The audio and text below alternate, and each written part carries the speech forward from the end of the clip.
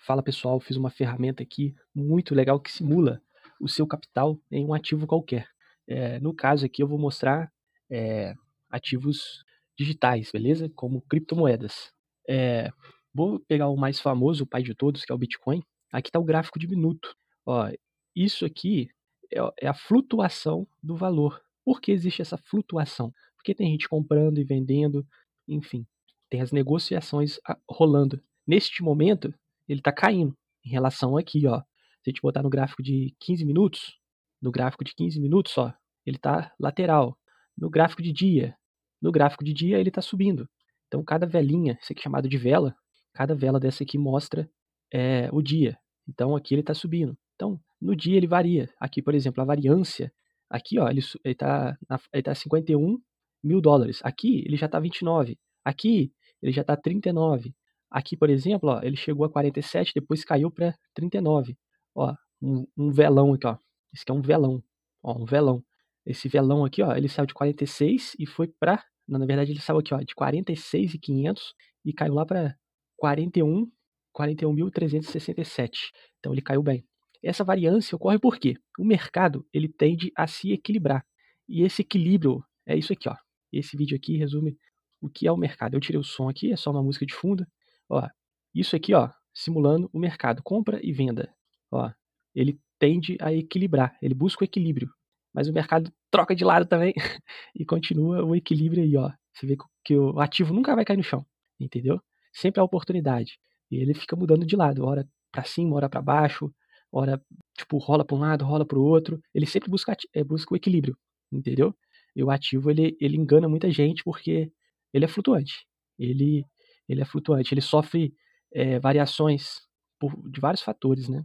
Tanto por notícias quanto por, enfim, um montão de, de critério aí. Queria mostrar isso aqui. Então ele tende a achar o equilíbrio. Nesse exato momento ele está equilibrado em 51.156. Ele pode subir, ele pode cair. Depende da variação dos fatores aí. Mas tem tendência. Por exemplo, a tendência aqui, ó, ó é dele continuar subindo. Ele está fazendo uma correção. Essa correção pode ser uma correção de queda, uma correção de alta, enfim. Aí tem umas análises fundamentais aí de análise gráfica que, que a maioria segue e às vezes é a tendência do mercado mesmo, entendeu? Não é, é como se diz mágica não. Mas enfim, supondo, supondo, ó, esse é o gráfico de dia, dia. Olha só que legal. Toda a representação do gráfico diário aqui do, do Bitcoin. Ele está nesse valor aqui. Mas supondo, supondo que você entrou, é, vamos supor, a única suposição que eu posso supor agora é que você entrou aqui, ó, nesse valor mesmo.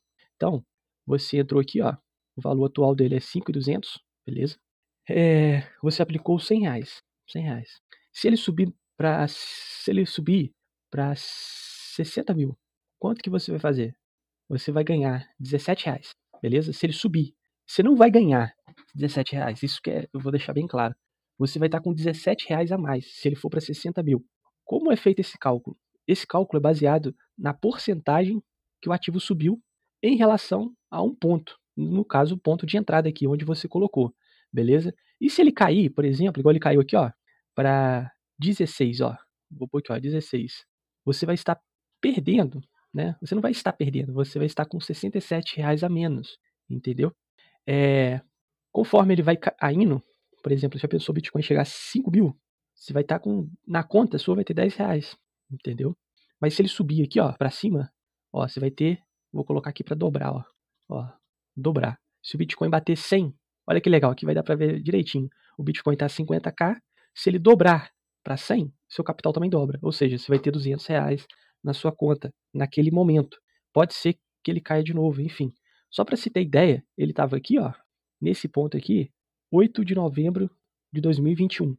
Ó, em 3 de dezembro de 2022, ele estava 16. Ó, em 22 ele estava 16. Aqui ocorreu uma parada muito maluca que influenciou na moeda digital. Porque as pessoas venderam seus bitcoins. Quando há queda do preço, é porque a pessoa vendeu. Quando há alta, é porque tem pessoa comprando. Então, tanto faz o bitcoin cair ou subir, dá para se ganhar dinheiro. Como? Deixando dinheiro lá? Não. Olha como é que o pessoal faz. Vou deixar no gráfico diário mesmo. E vou colocar aqui, ó. Deixa eu esticar isso aqui. Ó, beleza. Como é que a pessoa ganha dinheiro? É, vou deixar aqui, ó, nesse ponto de entrada mesmo. Agora eu vou simular. Em vez de eu deixar 10 reais, Ao invés de deixar 100 reais, eu vou deixar 10 e vou alavancar em 10. O que é alavancagem? alavancagem é uma forma de você. Você vai pegar dinheiro emprestado. Você vai pegar dinheiro emprestado. É como se você estivesse pegando aqui, ó, e depositando 100. Beleza? Você alavancou 10 vezes. Você vai multiplicar seu capital por 10 e vai colocar ele lá. Beleza? Dinheiro emprestado. Se se o Bitcoin bater, por exemplo, 60, ó, você vai ter ganho 17. Se ele bater 100, por exemplo, ó, 100, você vai ter feito o dobro. Seria a mesma coisa de você não ter alavancado nada e ter deixado a grana lá. Eu vou clicar aqui de novo, ó. Espera que aqui ficou zero. Deixa eu apagar esse daqui.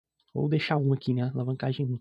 Então aqui, ó, é a mesma coisa que se você tivesse deixado a grana aqui, ó, alavancada. É, tipo, se você deixasse 100 ou deixasse 10 alavancado aqui, em 10 você teria ganho a mesma coisa, beleza? Deixa eu deixar um aqui, pôr zero aqui. Ó, você vai ter a mesma coisa. Porque é a mesma coisa. A alavancagem nada mais é do que multiplicar seu capital, pegar o restante do que você multiplicou. Por exemplo, se você colocar 20 vezes, você está multiplicando isso aqui por 20, beleza? Aí você opera com uma, um valor menor, por exemplo, 10. Aqui eu vou ganhar o dobro do que eu tinha posto. Só que o mercado, como vocês podem ver aqui, ele muda de posição, ele varia. Pode ser que ele para chegar a 100 aqui ele gaste uma semana, pode ser que ele gaste alguns dias e você pode perder sua grana. É isso aí. Por exemplo, se você tem 100 reais e alavancou em 10 vezes, seria a mesma coisa que você depositar mil. Se você chegar aqui em cima, olha quanto você vai ganhar. Com apenas 100 reais. Mas se você chegar, se ele cair, você vai ter perco isso aqui.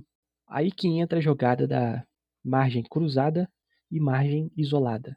Para entender a diferença que é muito fácil. Por exemplo, se você alavancou em 10 vezes, você pegou 900 a mais para equivaler aqui os, os mil reais, beleza? É, só que a única diferença é que você tá, que se o ativo cair, você pode ser estopado. Estopado é o quê? Eles param a sua operação.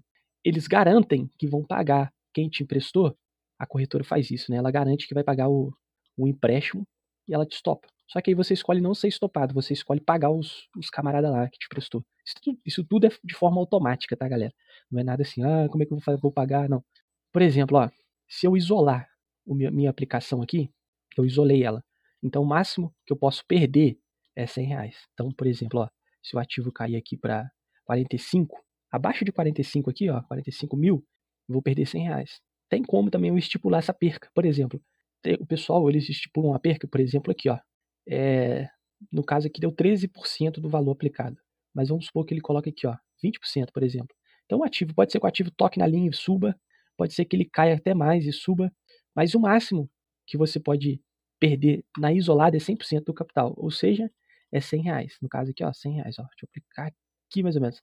É, é menos que 100. Por quê? Você paga os juros também. Dependendo do, dos dias dessa operação, você vai pagar os juros ou ganhar juros. Dependendo da condição do mercado, você vai ganhar. Porque você está deixando dinheiro, vamos dizer assim, dinheiro perdido lá.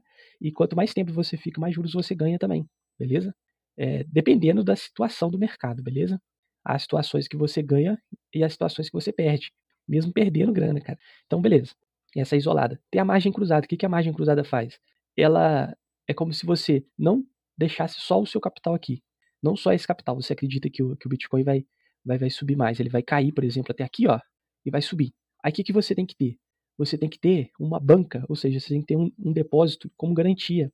Entendeu? Algumas corretoras usam outras criptomoedas, ele, ele, ele bloqueia suas outras criptomoedas e coloca como garantia. Só que aí corre o risco de você do gráfico cair mais, né, do ativo cair mais, se você perder não só o que você investiu, mas toda a banca, entendeu? Então a margem cruzada é muito perigosa. O pessoal trabalha geralmente com o stop ajustável. Você escolhe perder tipo 13 reais, por exemplo, ou escolhe perder até 50%, por exemplo, do seu ativo ali. O que, que significa? Se o Bitcoin corrigir aqui, bateu nessa linha, se perdeu 50 reais, acaba encerra a sua operação. Você vai, você, aí a próxima, seu próximo investimento vai ser 50. Tem gente que, por exemplo, ah, estopou em, sei lá, perdeu 10 reais, aí ele vai 90 de novo. Aí ele coloca para subir. Aí não subiu e vai perdendo sua grana, entendeu? Ao contrário de perder, também você pode ganhar, né? Você pode ganhar muito. Com apenas, por exemplo, 100 reais aqui, ó. A alavancagem do Bitcoin eu acho que chega até 100 vezes. Então, olha só, com 100, com, por exemplo, 100 reais alavancado em 100 vezes, por exemplo, você pode por exemplo, se o Bitcoin bater aqui, ó, 200 mil, por exemplo, ó, você vai ter ganhado 30 mil reais. Só que isso aqui é uma, é uma coisa de altíssimo risco. Por quê? Se você almeja ganhar isso aqui, no mínimo, você tem que ter isso de banca e cruzar a parada, beleza? Senão, você nunca vai chegar lá. E outra, dependendo do tempo que se passar aqui, você vai pagar juros para os financiadores aí da parada. Olha para você ver o gráfico em relação a 200 mil. Olha só, aqui ó, de 2021 até 24 são quatro anos. Olha a variância que ele fez para chegar lá, ó.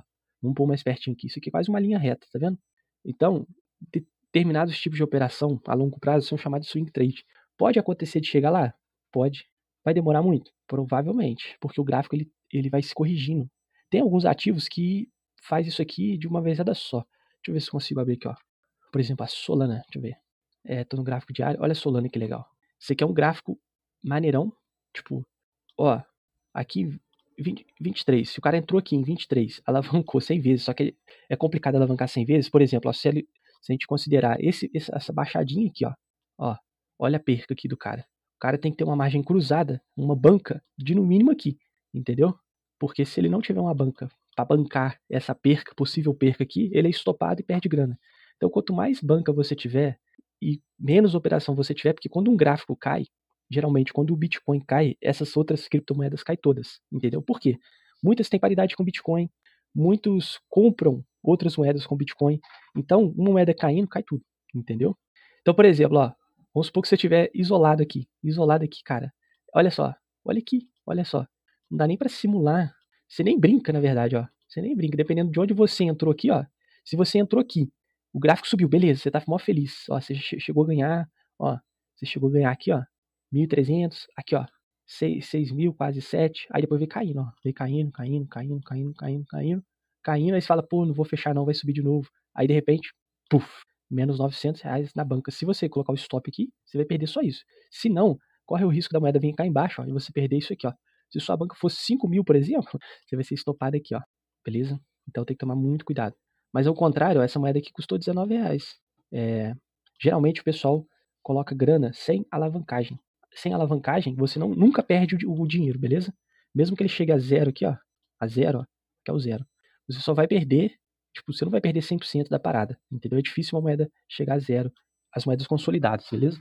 Mas se ela chegar onde ela chegou aqui agora, ó, você com 100 reais, você teria feito 431 reais.